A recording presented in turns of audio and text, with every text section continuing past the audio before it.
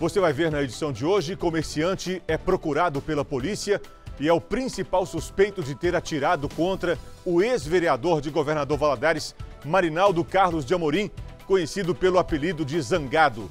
Marinaldo segue internado em um hospital de Governador Valadares.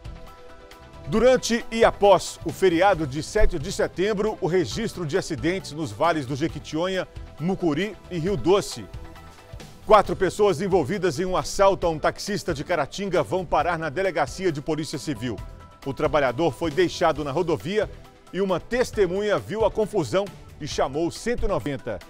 Agora no MG Record pela TV aberta e no Facebook da TV Leste, facebook.com barra TV Leste.